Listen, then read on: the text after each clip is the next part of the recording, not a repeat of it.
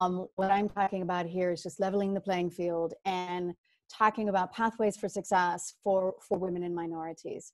And, and I'm passionate about this. Clearly, I'm a woman. Um, I'm also from a uh, less wealthy than most background and um, always found that quite a challenge, actually. So, and we all have something different about us that will make life a little bit more challenging or um, maybe in some cases a little less challenging but but it's what makes us all unique and that's okay. Um, but it means that sometimes we just have to be aware of of what those differences how they impact and how people perceive us and what it means how we can address some of it and um, and by no means am I saying that large corporates and big organizations around the world don't have work to do in terms of diversity and inclusion. They do. They have a tremendous amount of work to do. But we as individuals, you know, in the meantime, we're in these organizations. We're coming into these organizations, and and what I'm trying to do is equip you with as many tools as possible to be successful. Because I think we have a role to play in our own success as well some of the things I'm talking about here are meant to empower you, but you also need energy to empower yourself. So if you need to take a break and look after yourself, make sure you do that. Um, and then, you know, take some notes and come back to some of these points because they're important. And I know that they'll make a difference for you. He is, but he's considered by some to be the greatest Formula One driver ever. And his quote is I, I don't aspire to be like other drivers. I aspire to be unique in my own way. And this is something that to me is so fundamental I fully believe my path is my own, and I know that your path is your own. And very often you'll hear people say things like, Ooh, you're not going to make it like that, or that's not the way to do it, or it's always been done this way, or something along those lines. I'm personally a bit of a nonconformist. So when I hear those phrases, I literally want to run in the opposite direction. But what I'm here to tell you is that those are, they all come from well meaning people, but it may not always be relevant for you, right? So take it on board. It's one perspective, but then you have to dig deep and figure out what's right for you. And so please don't think that there's any path out there than your own. So let me tell you about my own personal journey. Um, I'm from Louisiana. I grew up in a very small rural town, village actually, in Louisiana. Um, I went to study math at MIT, and um, and then I went straight to Wall Street and my first career, what I call my corporate, my big corporate career, I spent 10 years on the trading floor. I started off as a derivative trader, interest rate swaps, and then I moved into credit derivatives, helped to build the credit derivative marketplace. And what I learned about myself is that after about eight years, I'm bored. And I just want to be learning. I love learning and just doing new things. And that's what's really exciting for me, are building things, just really just that intellectual challenge. And after about eight years, I just find myself drifting a bit. And it then takes me about two years to figure out what next. So my career is in 10 year chunks. So I'm my first 10 years was big corporate on the trading floor, mostly at JP Morgan, um, derivative trader. And then I left to become an entrepreneur. I started three different businesses. Pretty um, one a total fail, which is the case because that's what it means to be an entrepreneur. You have to have some fails behind you. Um, and uh, but i knew that eventually i was going to want to do something else. And so in preparation for my third career i sat on a few charity committees and a few charity boards so that by the time i got to my third career which i call my portfolio career um, i had some experience behind me and i could really jump into being a board member which is what i am today. So i sit on the board of morgan stanley international where i chair the risk committee. I chair the board of morgan stanley investment management for the emea region. I sit on the board of Rathbones, uh, which is um, a wealth manager, a FTSE 250 um, PLC. I also chair that risk committee. I, um, I sit on the visiting committee for the MIT math department. That's a lot of fun. I'm an associate fellow at Oxford University where I get to lecture and do a lot of fun things. Um, I've written a book called How the Trading Floor Really Works. You can imagine it is a wild bestseller like um, Fifty Shades of Grey.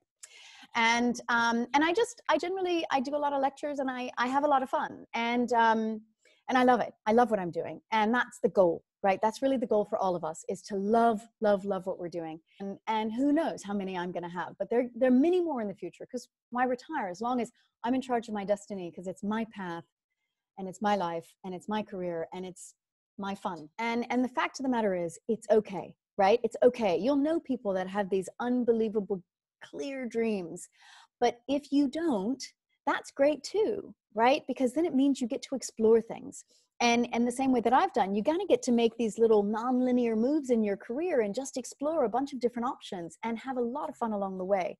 So don't don't feel that if you're missing if you're lacking clarity that you can't take steps forward and do really awesome and amazing things and just you know change the world and do something amazing. Because i know you can. I've done it certainly without all that clarity that some people bring to the table. Make sure make sure you are giving yourself the opportunity to do something amazing because why not right? Why not? Why not start big? The problem is that along the way to take those big leaps forward and do something amazing you also have to take some risk. And with risk comes failure for sure. For sure you will fail along the way at something. And it's j.m barrie he's the author of peter pan. He says we are all failures. At least the best of us are at least the best of us are. I believe this wholeheartedly because I can tell you that when I told you my life path and I skipped merrily from high to high to high and all these wonderful things that I had done, frankly, none of them came about without some deep lows. Failure is your best opportunity to learn. And I also believe that if you haven't failed, you haven't tried hard enough, you haven't taken enough risk. Now, when um, women see a job that requires 10 skill sets, if they can't tick all 10, you know if they take nine but they can't take the 10th one they're nervous to apply. Men see a job opportunity with 10 things and if they can tick one box they go for it. You know they're fist bumping each other woo success. The the truth is that if you can tick all 10 boxes why would you do the job? You're not going to learn anything. So take that risk. Take some risk. Make sure you're dreaming big enough and failure is your best opportunity to learn. Embrace it. It's going to be okay Here's the bad news there is something out there called the meritocracy myth. There is this huge, it's like religion, belief that the world is a meritocracy and that, you know, may the best man win. And, and often it is may the best man win. In some cases, it's may the best white man win. But it's not a meritocracy. Now, the problem with this is that people believe it and you're taught it. It's part of the corporate world. You're taught it so deeply, people believe it. And that when you tell them that it's a myth, they're angry. And and the truth is, you know, everybody that's achieved something did it with hard work, right? And and and they they absolutely deserve it. But the playing field is not level. Because if it were, right? When you look at the top of these organizations as you work your way up, the tops of these organizations would look very much like the demographics of the bottom or the, the tops of these organizations would look very much like the demographics of the communities that they serve. The problem is that because people believe in the meritocracy so much, it reinforces the unconscious bias that maybe women and minorities aren't good enough. Maybe women and minorities don't want it enough, so they're not working hard enough. You can't believe it's a meritocracy, in which case, if you believe it's a meritocracy, then you'll work against yourself. You have to believe that if you're a woman or a minority that it's it's not a level playing field. You have to understand that and then you have to figure out how to balance it. And look I, i'm not i mean again i'm not letting the corporates off the hook. You know they have a lot of work to do. Society has a lot of work to do no question. But but in the meantime this is to help ourselves apparently many women and minorities most women and many minorities are not very good with numbers Eh, clearly ridiculous, right? I know it's ridiculous. She knows it's ridiculous, right? You know it's ridiculous. However, because that unconscious bias exists, you do have to fight it. So it means that when you get into the, the corporate world you get into, embrace the technical aspects of the role. Don't shy away from them, right? Become the technical person. And let me tell you a secret most of finance is not, definitively not rocket science. Absolutely not. And the most math I ever did, and I traded exotic derivatives, the most math I ever did was multiplication. The number of my students who tell me that they've been interviewing and the thing that's come back is that, you know, they were interviewing, they were really keen to do a trading role, but then they were told, oh, you're so good with people. Maybe you should, you know, go into a sales role.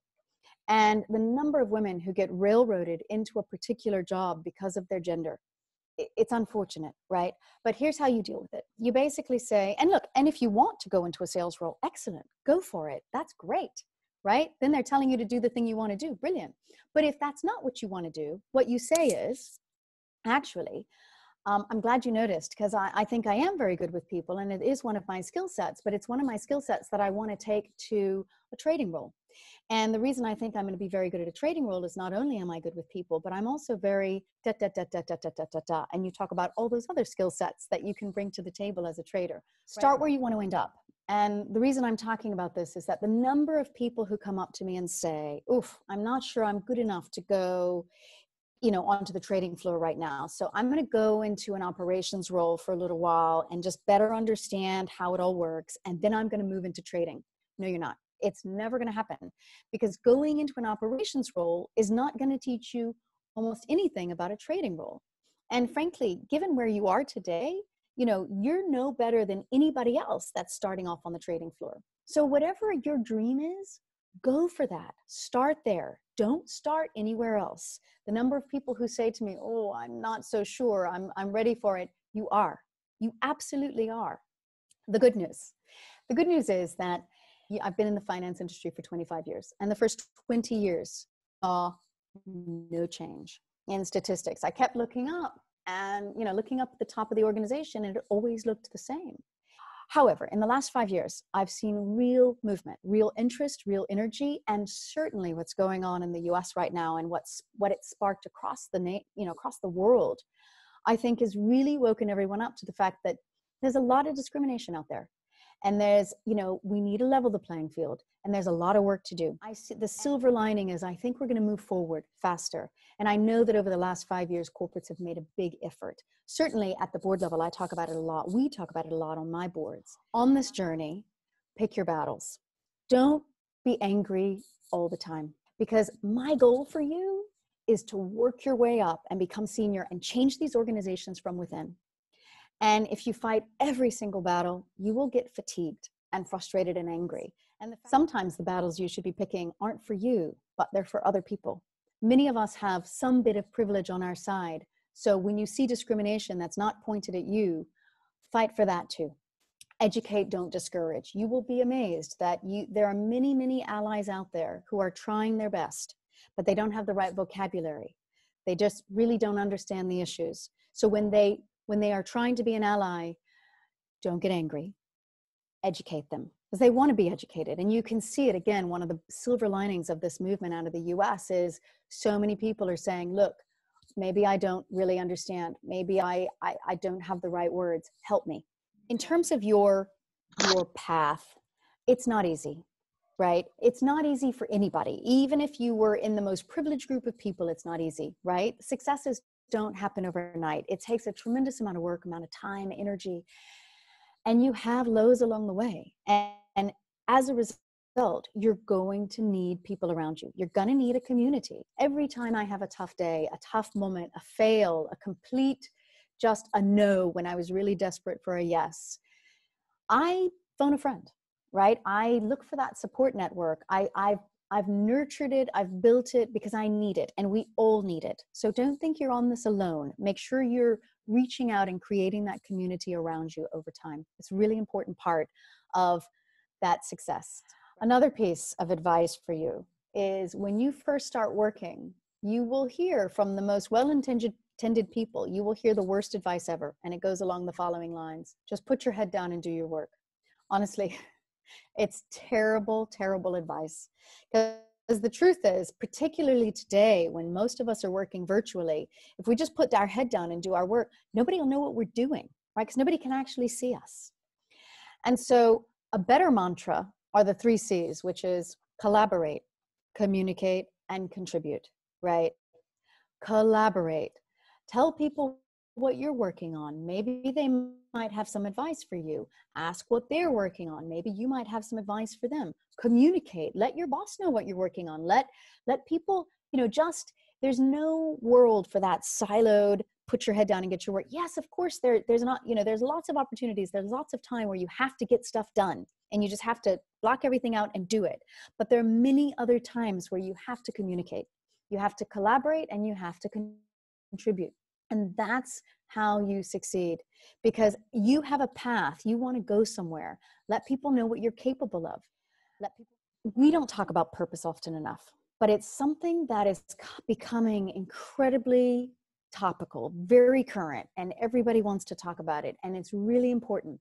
It's interesting because I think most people that work in finance probably couldn't articulate purpose. But I'm going to tell you what it is because it's incredibly simple. And this is what's exciting.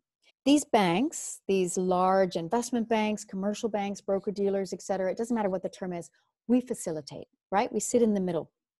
And what we do is we facilitate those who have money and those who need money. Some people call it capital, those who have capital and those who need capital. And capital gets broken down into debt and equity, just if you're curious or if you studied it. But we sit in between.